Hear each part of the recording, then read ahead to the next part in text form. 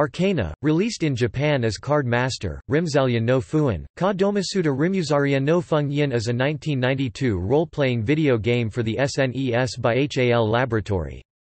The game represents all of its characters as cards, but plays like a dungeon-crawling role-playing game, rather than a card-based game. In keeping with this metaphor, the death of a character results in a torn card, and the magical properties of some cards are used to explain abilities of the game's characters.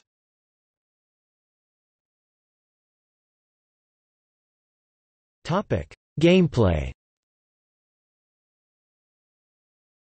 Assuming a first-person perspective, the dungeons and towns of the game are navigated from the viewpoint of the characters and, with a few exceptions, the conversations between characters hold true to this as well. Battles within the game are portrayed in the first person, displaying the protagonist characters along the perimeter of the screen, with the enemies in the center. Arcana's battles, however, are not graphically intensive and the characters' animations are limited to, at most, five frames. Breaking from the format established by Square of displaying the damage incurred by characters above their heads, this information is summarized in a text display at the bottom of the screen similar to Dragon Quest games from Enix. The map-style-based dungeons are, arguably, the most challenging aspect of the game. Seeing often only what is immediately before the characters, the player is free to move in the four primary compass directions. Labyrinthine in their design, and often fraught with dead ends and hidden dangers, the detail in the drawing of these dungeons compensates for their relative lack of animation.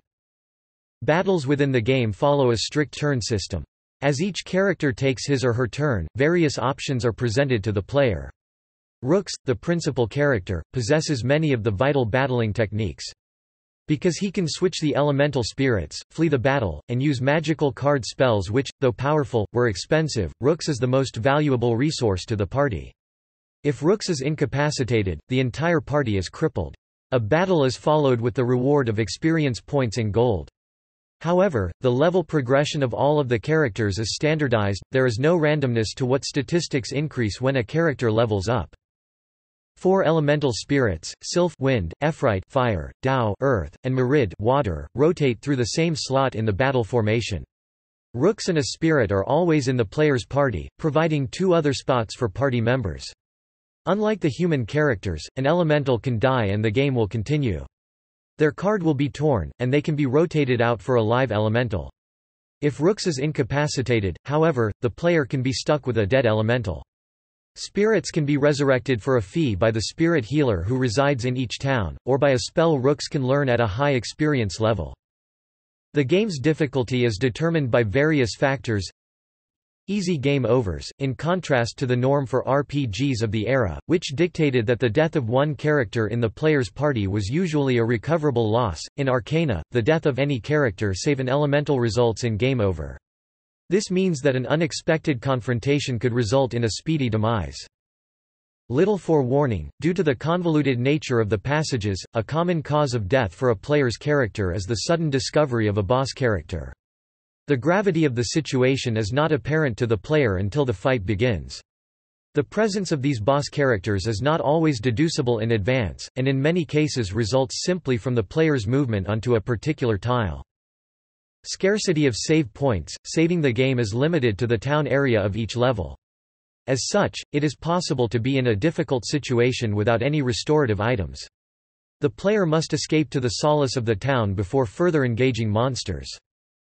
Limited inventory – The party's inventory is limited to 42 item slots. Unlike other RPGs, where multiple copies of the same item can stack in one slot, the items in this game do not stack, providing a very strict, and often small, item limit. Linearity – Having completed a dungeon, the player cannot subsequently return. The dungeon explored is determined by the player's progress in the story and not chosen. This prevents players from returning to a dungeon with easier monsters, and risks being stuck in a dungeon whose monsters are too strong to overcome.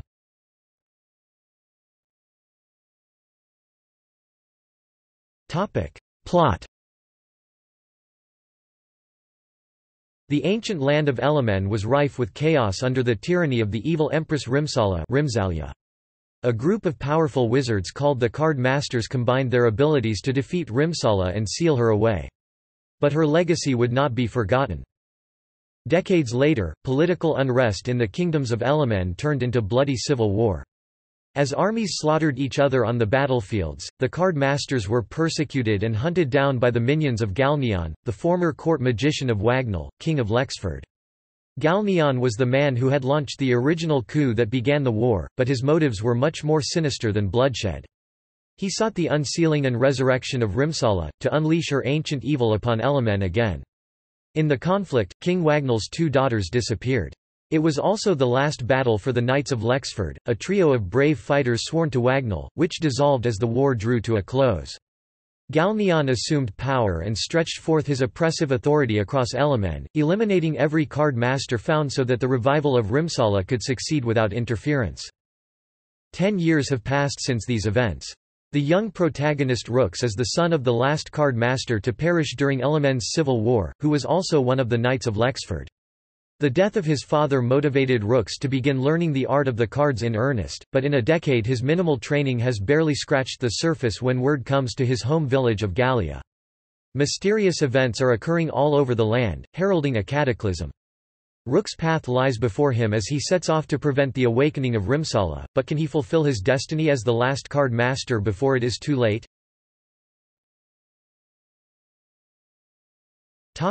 Characters Original names in parentheses Rooks Rukusu Rukusu, hero of the story and the last surviving card master. His parents were killed during Galneon's coup ten years ago. Rooks is the only character who can call the spirits to change which one is in the player's active lineup. As the card master, only he can use magical cards in battle, which have various effects on enemies and the party. His other talents include swordsmanship, healing magic, and magic to negatively affect enemy stats. Ariel Aaron Aaron Allen, Rook's childhood friend, he hasn't seen him in ten years. Ariel seems to have several apprentices whom he taught, however what exactly they were learning is unknown as each has different styles of battle. It was because of Ariel's request to go to Balna temple that Rook's adventure begins. However, there is more to him than he shows. Ariel is not playable but is interacted with at several points in the game. Tifa Tifa Tefua, one of Ariel's apprentices. She is decent in battle but her real talent lies in sorcery. Tifa is the only character in the game who can master the 11th level attribute spell. Also, she can cast some healing magic. The first to join the player's party while following Ariel's request.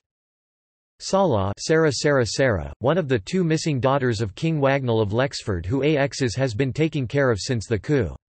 Like Tifa, Sala is primarily a magician. It was she who healed the injuries Rooks sustained during Chapter 1. Darwin a Arwen, a wandering elf with two different color eyes that switch depending on which side of the party he is placed on. The fighter-mage character who is good at both talents. His reasoning for joining Rook's party is unclear at first but will be revealed over time. Darwin is also the character who joins the most, he accompanies Rooks in three chapters while the others only are playable in two. AXs Akusu Akusu Axe, the last surviving member of the Knights of Lexford, a group that once consisted of himself, Rook's father and Ariel's father. After the king died, AXs became the caretaker of his young daughter, Sala. A warrior through and through, AXs uses the fewest spells and none that have any offensive powers. Galneon Ru Garuniru Garnell, the former court magician from Lexford, he assassinated King Wagnall one day ten years ago and claimed the throne for himself. Currently, he is attempting to gain the three treasures necessary to revive the evil Empress Rimsala. Galneon is not playable.